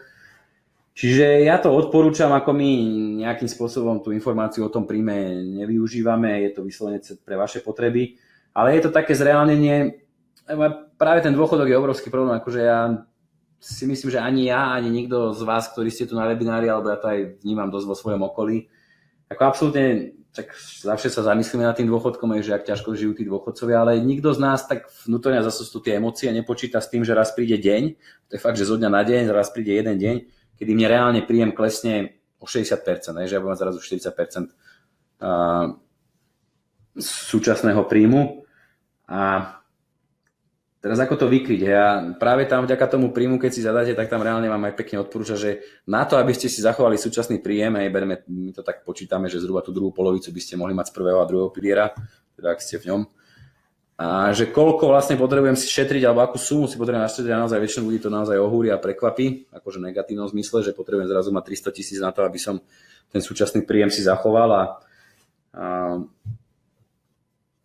potrebujem na to mesačne treba odkladať fakt, že 300-300 eur mesačne, aby som to vôbec stihol. Že sa to budem za také obrovské. Že... Čiže preto, preto je to takto nastavené, no potom viete, viete tam zaškrtnúť, že nechcem zdieľať túto informáciu, ale v takom prípade musíte si dať tú cieľovú sumu, to viem. Čiže ono to je, ako, je to viac pre vás, um, možno sme tam mali doplniť, že aj teda nechcem, nechcem to zdieľať, ale my by sme radi tých ľudí tak nejako motivovali a ukázali im, že čo je reálne a čo je, čo je dosiahnutelné. Čiže nie, nie je to podstatné to číslo, ako je to vyslovene pre vás eh, na to sledovanie, že či teda dosahujete tie ciele. Momentálne sa investuje každý druhý útorok. Ehm, aha, čiže to bolo to kedy sa skráti čas na investovanie. OK, čak ten dopyt je pomerne veľký potom. Ja vrajím, ja si trošku myslím, že to je úplne jedno a zbytočné, že či tie peniaze týždeň ležia na účte v banke alebo týždeň vo Finaxe. Zatiaľ sme tak nastavení ten september, október, tak ja pevne verím, že to aj teda dodržíme. Už vzhľadom na to, že to tak intenzívne komunikujeme a v podstate na každom webinári mám túto otázku a všade poviem, že niekedy potom letia alebo v tej druhej polovici roka. Takže spravíme preto maximum, aby to bol naozaj že ten september, október. Ja som trošku chcel nejaké veci ešte pomeniť v tom vôbec v tom procese investičnom, ale tak to určite už dovtedy asi, asi nestíhame. Čiže ten september, október v zásade OK, dobre, raďme sa k prezentácii. Som ako veľmi teší, že máte otázky. Super, že je to príležitosť na takúto live komunikáciu. Čiže ešte naspäť k tej správnej alokácii, aby som vysvetlil, že, teda, že prečo je taká podstatná, lebo vrem stále si myslím, že to tým ľuďom uniká a že keď ten človek teda povie, že má 5 rokov, tak on radšej investovať nebude a nie je si vedomý toho, že sa dá investovať aj konzervatívnejšie. Čiže s touto tabulkou ste sa určite stretli, ja to pomerne často ukazujem aj na, na webinároch, aj v podstate pravidelne sa v nejakých článkoch objavuje. Ale je to presne tá podstata toho, že tu je rozdelených nejakých 31 rokov, keď si rozdelím na 5-ročné periódy, napríklad 10-ročné periódy a 15-ročné periódy, je to vlastne od konca mesiaca po koniec mesiaca o 5 rokov, čiže december 87 až december 92, január 88 až január 93 a vezmem vlastne za tých 31 rokov všetky 5-ročné periódy, tak to vlastne tá tabulka ukazuje, že koľko tých 5-ročných periód bolo ziskových s daným portfóliom. Teraz portfólio 80 na 20 malo 89,5% 5-ročných periód ziskových. Čo inak sa dá povedať, že máte na 5 rokoch 80, no skoro 90% pravdepodobnosť, že s portfóliom 80 na 20 zarobíte. Keď si predložíte ten horizont na 10 rokov, už tá pravdepodobnosť toho, že bude v zisku tá vaša investícia jednorázová, je 98,4%. Keď to predložíte na 15 rokov, tak je 100%. Proste nebolo 15-ročné obdobie za uplynulých 31 rokov, kedy by ste s portfóliom 80 na 20 nezarobili. A tu chcem presne ukázať, že keď máte 5-ročný horizont, vezmete si portfólio 40 na 60, máte skoro 100% pravdepodobnosť, že s ním zarobíte, alebo tak to bolo podľa historických štatistík, ono môže prísť niečo nové. Potom je tam vlastne ukázaný ten priemerný výnos, vrátane teda tých stratových, stratových e, periód. Ale je zaujímavé, že aj s portfóliom 60 na 40 nebolo 10-ročné obdobie, ktoré by bolo stratové uplynulých 31 rokov. A to je celá tá podstata tej správnej alokácie. My napríklad tie naše algoritmy, ktoré sú na stránke, ktoré vám vyberajú podľa tých vašich, vašich odpovedí vám vyberajú to vhodné portfólio, oni do veľkej miery, alebo akože jeden z tých kľúčových bodov, ktorý naozaj obmedzuje to maximálne riziko, je práve ten horizont. Čo je celkom zaujímavé, že ono nám to tak aj vychádza historicky, že platí, že zhruba počet rokov sa rovná aj krát 10 tomu percentu, aký by mal byť podiel akcií. Čiže keď máte 5 rokov, tak ideálne je 50% akcií. Zhruba takto tam máme aj nastavené, ale naozaj to vyšlo tak v tých, tých historických štatistikách, keď sme, to, keď sme to testovali a merali. A tie štatistiky hovoria, že s tým portfóliom máte zhruba 96 až 98% pravdepodobnosť, že zarobíte. Čiže keď u nás napríklad si nastavíte 5-ročný horizont, reálne vás ten systém nepustí alebo vám nevyberie dynamickejšie portfólio ako 50% akcie. Samozrejme zohľadňujú aj ďalšie odpovede, že keď ste úplne konzervatívni a nemáte žiadne skúsenosti s investovaním, tak vám nedá ani 50% akcií. Ale že takto to, takto to zhruba funguje, je tam zhruba niekde 96 až 98% na pravdepodobnosť, že s tým horizontom zarobíte. Čiže ja hovorím aj na tých 5 rokov sa dá investovať, je to presne 40 na 60 si vezmete, priemerný výnos 40%. Akože je pravda, že teraz asi treba očakávať nižšie, lebo naozaj uplynulých 10 rokov je veľmi extrémnych pre akcie. Je pravda, že tie dlhopisy asi tiež nespravia ten výnos, aký robili v priemere za 30 rokov, ale stále to bude podstatne viac ako v banke. Aj za uplynulých 5 rokov by ste asi v banke ťažko dosiahli 40%, čo reálne vychádza naozaj veľmi, veľmi vysoký priemerný ročný výnos. Čiže o tom to je, že nie je nič horšie ako držať peniaze v banke. A treba potom, keď už investovať, tak prispôsobujeme to investovanie a prispôsobujeme tú alokáciu, zloženie portfólia tomu, tomu horizontu a nejakým očakávaniam. Čiže tu je tiež nejaká taká podobná štatistika. Čo je celkom zaujímavá štatistika, že dokonca to konzervatívnejšie portfólio z hľadiska, keby ako je taký obľúbený Sharpyho pomer, Sharp ratio, to je vlastne ten čtvrtý stĺpec. On v podstate, lebo ako presne tento Sharp mal problém s tým, že čo, čo sa tu aj teraz bavíme, že každý chce zarobiť najviac, alebo každý hľadá investíciu, ktorá mu zarobí najviac. Ale málo kto sa pýtal, že teda aké riziko musím podstúpiť na to, aby som zarobil tak veľa. Čiže on jednoducho dal do pomeru výnos, ktorý dosahuje tá investícia a to riziko, ktoré podstupujete. A toto riziko sa práve meria tou nejakou volatilitou, či to dá sa povedať, že taký ten rozptyl tých výsledkov. Čiže keď pri portfóliu 100% akciom, ten prvý riadok, za 31,5 roka bol priemerný ročný výnos, aj, či to beriem vždycky tiež od konca mesiaca po ďalší ako rok, hej, od konca mesiaca a rok a tak ďalej, tak priemerný výnos alebo priemerné zhodnotenie týchto ročných horizontov bolo 9,9% za 31,5 roka. Ale tá volatilita, hovorí to ako nejaký rozptyl, bol 17,4%. Čiže mali ste nejakú 68% pravdepodobnosť, že skončíte v pásme od 9,9 plus 17,4 po 9,9 minus 17,4. A je to, je to štatistika. A dá sa povedať, že tá, tá volatilita hovorí presne o tej kolisavosti a o tom riziku, ja by som to zjednodušene povedal. Je vidieť, že aj tuto presne platí, čím vyšší výnos, tým väčšia volatilita, čiže väčšie riziko. Ale on ten Sharp dal do pomeru vlastne ten výnos a, a to riziko, čiže on dostal ako keby rizikovo vážený, vážený výnos. Že aké riziko musím podstúpiť na to, aby som dostal 1% výnosu. Dá sa to takto povedať. A čo je zaujímavé, že keď idete nižšie a pridávate si do, alebo čo tým chcem povedať, že keď si pridávate do portfólia tie dlhopisy, tak ten výnos toho portfólia nepadá tak prudko, ako padá to riziko. Čiže reálne podľa tejto tabulky je najlepšie portfólio z pohľadu rizika a výnosu práve 20 na 80. Niekde akože ten výnos bol som samostal prekvapený 5,6%. On to nie je anualizovaný výnos, pozor, je to je priemerné ročné výnosy, že to nie je ten anualizovaný, normálne diskontovaný.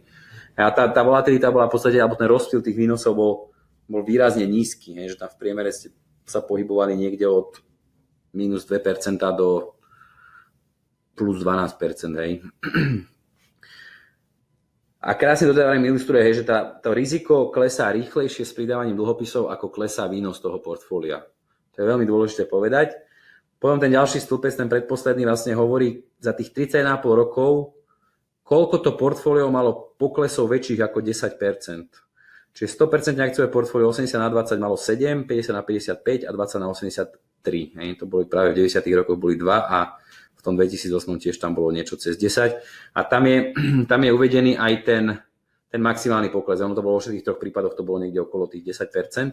A ten, teda, pardon, ja som to tu zle upravil, to nie je maximálny pokles, ale to je pokles, ako pokleslo to portfólio v tom 2008. Takže tam to tiež vidíte, že presne o tom to je, že keď si tam tie dlhopisy, tak to riziko alebo ten drawdown, tá maximálna strata je podstatne nižšia. Ale celkom je aj zaujímavé, že vlastne za 31,5 rokov malo aj 100% akciové portfólio len 7 poklesov väčších ako 10%. Ja som ostal z toho celkom prekvapený, mne sa to zdalo, mne sa to zdalo málo. A, a, a akože tak boli tam, boli tam pomerne dva veľké, hej, cez 50%. A čo som chcel ešte teda, že že on vychádza, že v podstate ten pokles trhov väčšie ako 10% sa v zásade deje raz za 4,5 roka, že tie štatistiky skôr hovoria priemerné raz za 3 roky, ale neviem, to to vyšlo raz za, raz za 4,5 roka. Čiže to je vlastne tiež tej alokácia. Toto v podstate najlepšie ilustruje, aká je tá úloha tých dlhopisov.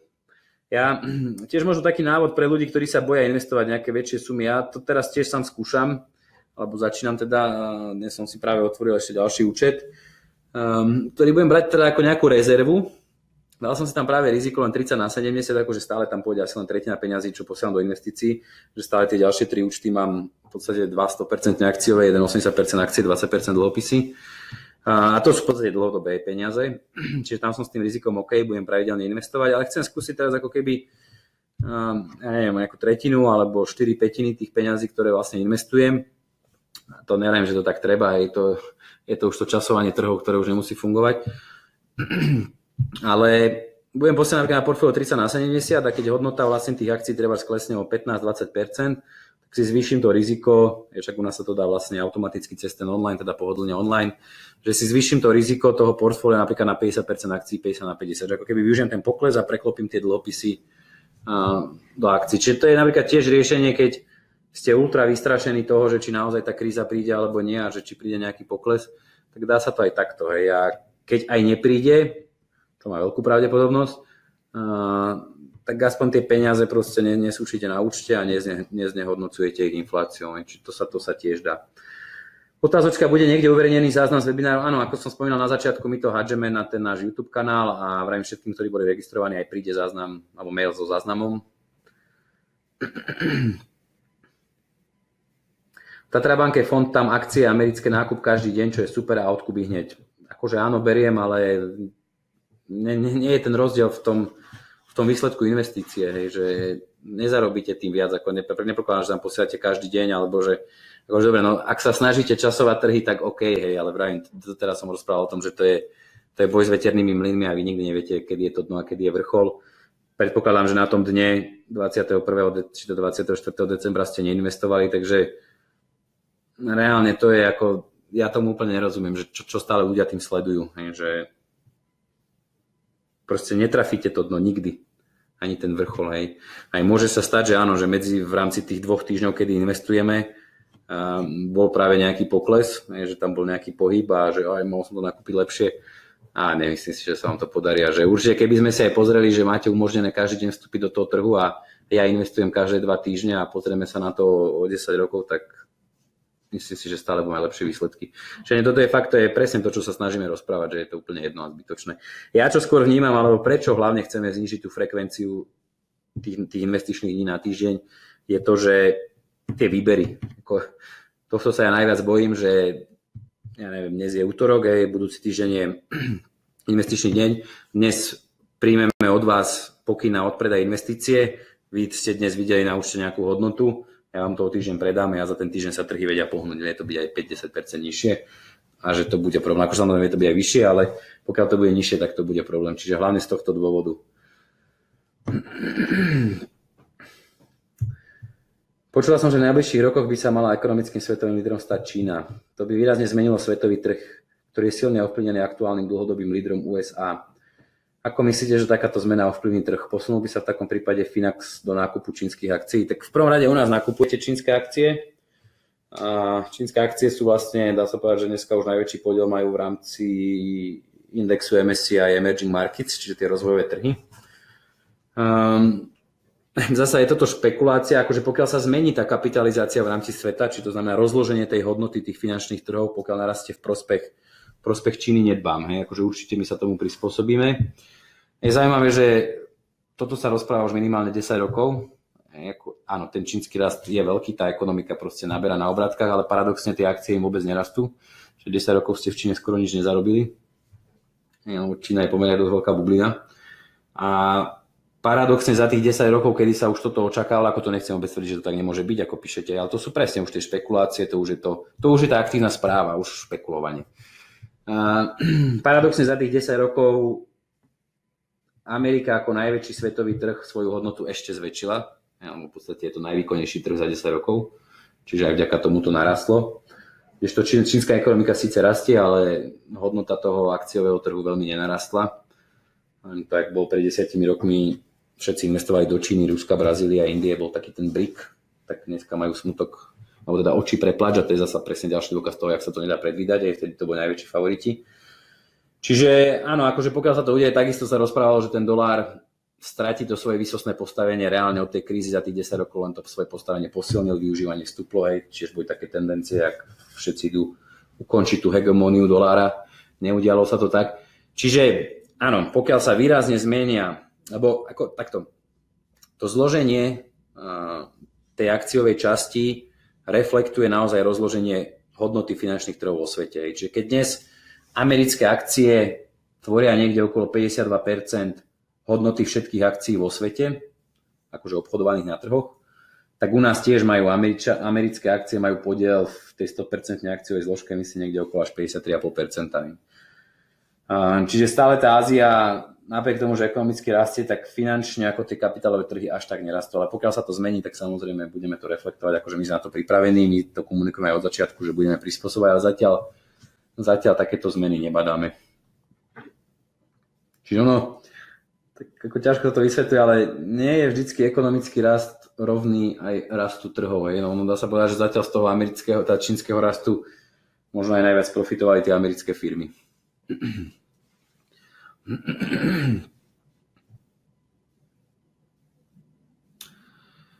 Dobrá otázka. Mám u vás účet budovanie majetku konzervatívne nastavenie 20 na 80 toto nastavenie online zmeniť neviem, či áno, nenašiel som. Ak by som náhodou chcel zmenu, tak osobne ďakujem.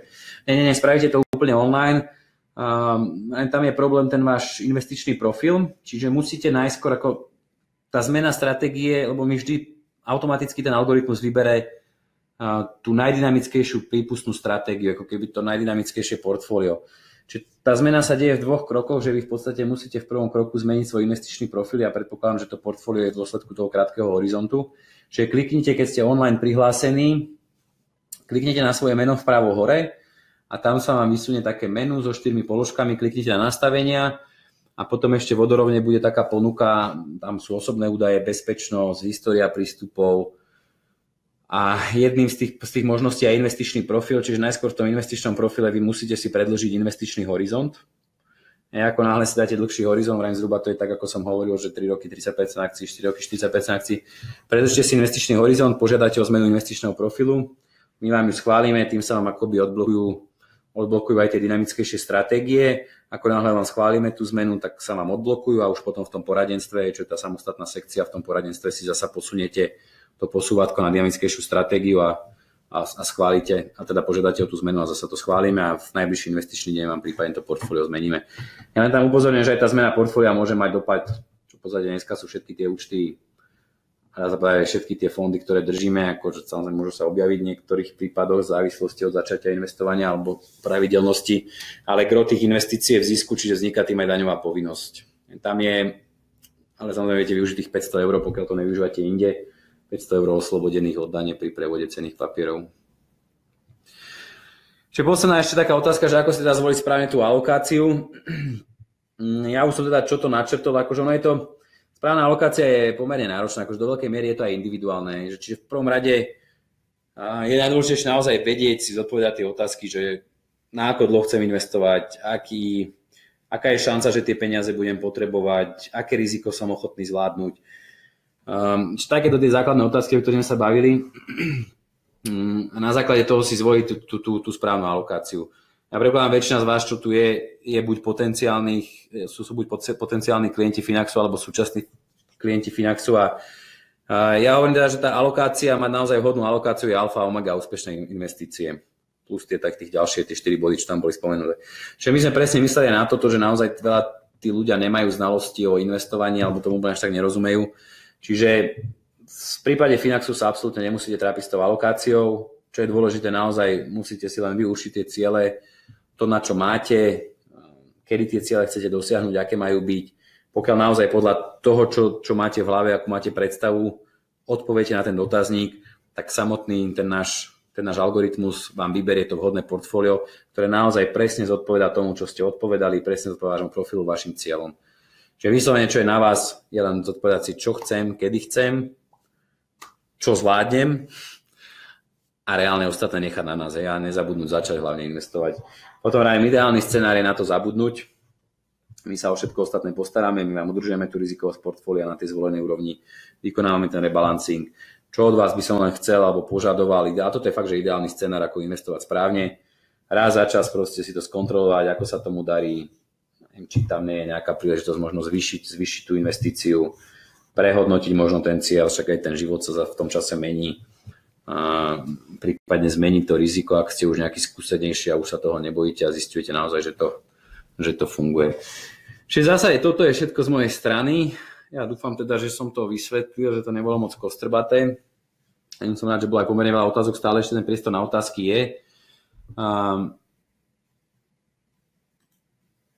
určite sa môžete pýtať, však od toho sme tu. Ja upozorňujem ešte na ďalší webinár, zasa, zasa v podstate o mesiac, alebo o 4 týždne bude ten tematický webinár. O 2 týždne je ten pravidelný, kde predstavujeme firmu, um, produkt, a nejaké tie výhody toho produktu, ale o 4 týždne je ďalší tematický webinár, je to presne, presne tá téma, mm, ja to tam skúsim teda napríklad ilustrovať, že prečo tá stabilizačná fáza až tak nefunguje, čiže priamo na nejakých situáciách, alebo teda nemusí vždy fungovať, alebo že sú momenty, keď to nefunguje.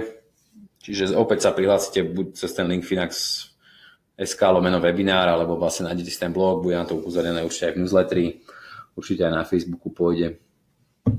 Takže ja dúfam teda, že som zodpovedal nejaké otázky, vysvetlil som to, ako čo má byť, čo má byť takým odkazom a pointou tohto webináru. Je hlavne to, že investovať sa dá vždy, investovať môže každý, nech má akýkoľvek vzťah k riziku, je to vždy lepšie ako držať peniaze v banke aj najhoršie, čo sa vám môže pri investovaní stať takom poriadnom poctivom, je to, že vám krátkodobo klesne hodnota a za pár rokov sa vráti. To je najhoršie, čo sa môže stať. Uh, čiže dá sa investovať aj na 3, 4, 5 rokov. Uh, netreba sa bať tých dlhopisov v portfóliu. Reálne tie dlhopisy neznižujú až tak výnos. Ako samozrejme platí to, čo som hovoril, akcie sú určite najlepším aktívom, aký, aký môžete mať. Aj veľa z vás sú podnikateľi a nedajú dopustiť na, na, na vlastnú firmu, čiže to je presne to isté, nakupovať akcie. Um, čiže aj tie, tie, ja by som tak nazval, možno, že strednodobé ciele sa dajú ušetriť investovaním. Um, treba len si zvoliť správnu alokáciu, čiže čím je viac dlhopisov v portfóliu, týmto portfólio má menšiu kolisavosť, menšie výkyvy, ale aj dlhodobo alebo historicky nižšie výnosy. Čím je dlhší horizont, tak zase netreba sa bať akcií. Ale majú, majú v portfóliu miesto aj tie dlhopisy. No a trošku sme to natiahli, ale bolo dosť otázok, čo je super, čo, čo ma teší. Dobre, ak teda nie sú žiadne otázky ďalšie, ja dúfam, že teda sa to podarilo vysvetliť. Ja k tomu spíšem aj článok, kde to teda možno ešte nejak tak zjednoduším a zopakujem. A...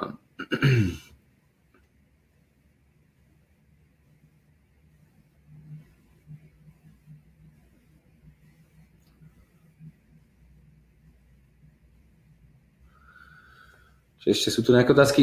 Nechcem sušiť peniaze na účte, na aký najkračší horizont a akú alokáciu by ste, alokáciu by ste zvolili? Ehm, závisí to od toho horizontu. Je. No ako ja 2-3 roky horizont by som od investície neriešil, čiže už ak si to na tie 3 roky, tak zhruba 20 na 80, 30 na 70, ale naozaj, že 3 roky minimum. Ako tie peniaze sú dostupné vždy, čiže to není o tom, že ich nemôžete 3 roky vybrať. Tam ide o to, že naozaj dodržanie horizontu je jednou z podmienok na úspešnú investíciu alebo dosiahnutie tých cieľov. Čiže ako no, ťažko je to, to vždy individuálne, naozaj to závisí od človeka. Ja viem, že veľa ľudí chce poradiť alebo chce tú radu. Um, ako možno čo je pre vás dôležité, že naozaj, že tie peniaze, ktoré máte, skúste si ich rozdeliť, že dobre, tieto možno budem potrebovať o dva roky, tieto možno opäť a tieto chcem nechať bežať do dôchodku, aby som z nich vyžmykal čo najviac. Či toto je možno taký lepší prístup, že má to rozkatulkované a nie celý balík peňazí, že ja neviem, že možno ich budem potrebovať.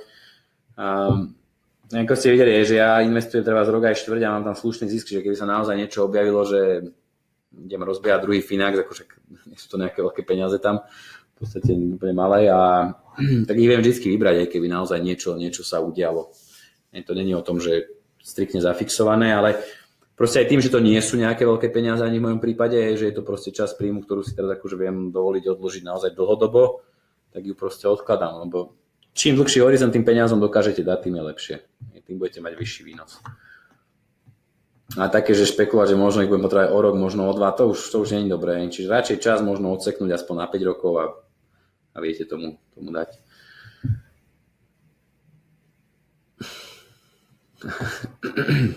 No a ak teda držíte nejaké ďalšie peniaze väčšie na účte, tak neviem, začnite možno to, čo som ja raz hovoril. Ak rozmýšľate nad tým, že či dať tú jednorázovú investíciu, tak ju dajte na nejakých 20 na 80, ak tie trhy padnú, zvýšite to na 40 na 60 a podobne. Hej alebo proste nejakým, si stanoviť možno nejaký časový horizont, ak to budete, budete zvyšovať. Ako ja zasa tiež nechcem, aby všetky peniaze ľudí boli v investíciách, je treba mať aj nejakú tú likvidnú rezervu, to je určite dôležité. A ja dokonca som pomerne veľký fanúšik rezervy, ale ja mám tiež tým osobne problém, že ja zasa keď mám veľa peňazí na účte, alebo proste čo mám na účte, tak mám tendenciu minúť.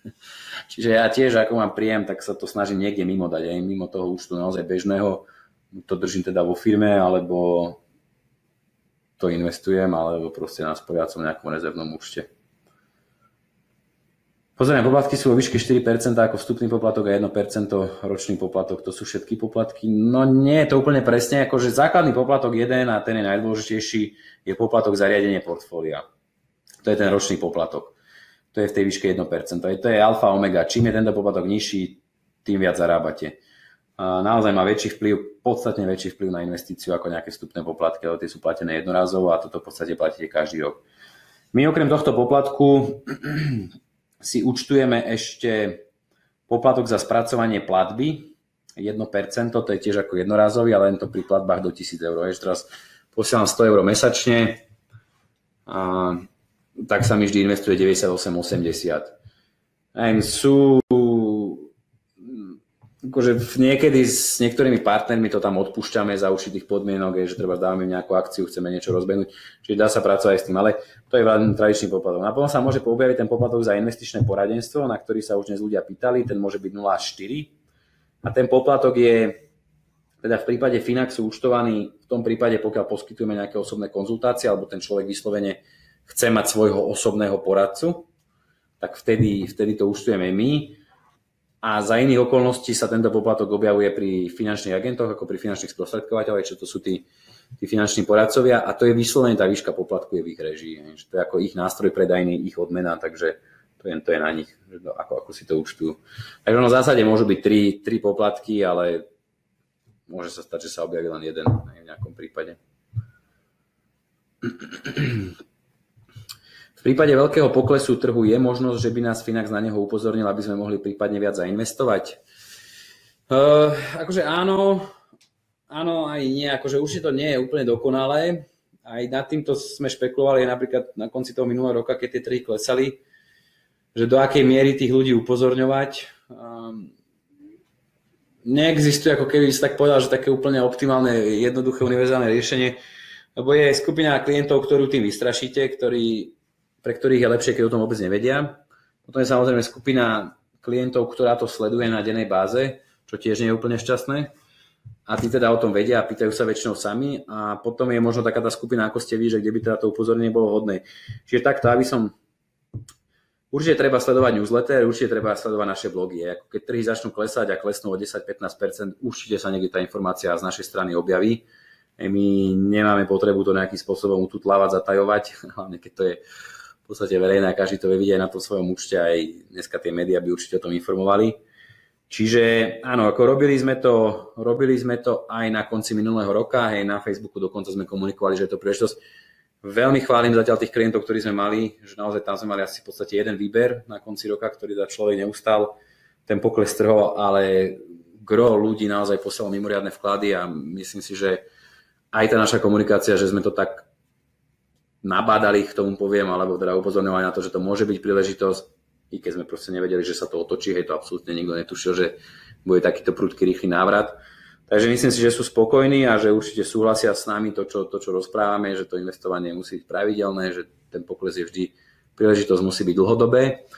Potom je taká vec, ktorá už dneska je od, zo zákona, vlastne platí od februára minulého roku v rámci toho MIFIDu 2, čo je taká európska smernica, a tá nám prikazuje, že pokiaľ hodnota účtu klesne o viac ako 10% od posledného výpisu z účtu, že my posielame výpis na kvartálnej báze, ako jednak máte ten online, kde to môžete sledovať, ale vždy ku koncu štvrť roka, vlastne začiatkom naschádzajúceho štvrť roka, či ak šlo teraz začiatkom júla, posielame štvrťročný výpis účtu aj so všetkými kompletnými informáciami. A počas štvrť roka, ak klesne tá hodnota účtu o 10%, tak musíme vám poslať informáciu o tom, že sa tak udialo.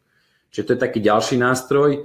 Reálne sme to už v tom decembri posielali, tam dokonca neviem, či to nejakým 72 ľuďom nešlo. Však samozrejme nešlo to tým klientom, ktorí majú dynamickejšie portfólio, takže tam, tam sa to posielalo. Takže je to také, nie je to možno úplne dostatočné. Uh, nevylučujeme to do budúcnosti, ale vnímam to citlivo, je, že proste veľa ľudí, keď upozorníte, akože, že hodnota účtu vám klesla o 15%, alebo trhy padli o 15%, je to vynikajúca príležitosť, tak zareaguje opačne. A, neviem, otestujeme to a práve aj napríklad, čo som spomínal, v rámci tej automatizácie dnes zavádzame také systémy, ktoré budú vedieť lepšie zasielať takéto notifikácie mailom alebo potom možno priamo do, toho, do tej stránky. Čiže nevylučujem to, ale musíme si byť najskôr naozaj istí, že touto informáciou budeme tým ľuďom pomáhať a nie im škodiť bo veľa vrajím ľudí, keď nám to upozorní, tak skôr spanikári. Uvidíme, uvidíme, ako sa to bude vyvíjať. Však je to samozrejme to komunikácia o tom školení, ale na tom vzdelávaní tých, tých, tých klientov, čo teda o čo sa snažíme, ale nakoniec tie emócie sú vždy veľmi silné. No. Keďže to pán Peter, presne preto sa pýtam, ja už určite vás máme, či to sme, sme sa bavili, že s tými peniazmi, no musíte si to v prvom rade vy, vy naozaj, a naozaj zvážiť. No, či to je napríklad tiež dobrá, čo píšete, že tie notifikácie voliteľné by boli super. No. Aj mne to už trošku, neviem zase, že nič nerealizovateľné, ale je to ako ďalší krok. A chceli by sme napríklad aplikáciu koncom roka, možno začiatkom budúceho roka. Je teda ďalšia vec, na ktorú sme začali riešiť a možno v rámci tej apky nejaké notifikácie budú jednoduchšie. Že tam bude aj taký, by som povedal, priestor asi, asi lepší na viac takýchto vecí. Čiže ako čo sa týka tých technológií, naozaj tie predstavy mám pomerne ďaleko. My, ja som to už viackrát spomínal na týchto webinároch, aj sme to komunikovali že chceme aj tú aplikáciu trošku rozšíriť, ako nie, nie sme ešte presne ujednotení, ako to bude, ale mať takú apku viac ten aj personal finance management nariadenie osobných financií, že si tam budete vedieť napravať aj bankové účty. Časom dúfam, že sa teda iné firmy finančné k tomu pristúpia, ako jedna, jedna vec je tá, že smernica PSD2, ktorá vstupuje teraz v septembri do platnosti, tá prikazuje bankám sprístupniť vlastne dáta klientov tretím stranám, pokiaľ o to klient požiada Napríklad si viete napojiť bankový účet treba na aplikáciu Finax v budúcnosti a viete tak z jedného miesta všetko sledovať. Čiže s tým máme pomerne veľké plány, že by tam boli tiež nejaké veci, ktoré by vám pomáhali riadiť, riadiť to portfólio. Takže v rámci toho si viem aj predstaviť takéto nejaké notifikácie. Bavili sme sa to aj v nejakom chatbotovi, že by reálne ako s vami komunikoval a takéto veci presne. To je presne to, na čo sme mysleli. Čiže verím tomu, že raz to bude. No. Plány máme veľmi smelé. Ďakujem, som rád teda, že ste sa niečo dozvedeli, že vám to niečo pomohlo. Teším sa teda do, do skorého videnia, či už to bude osobne alebo v rámci takto webináru. Majte sa pekne, pekný večer.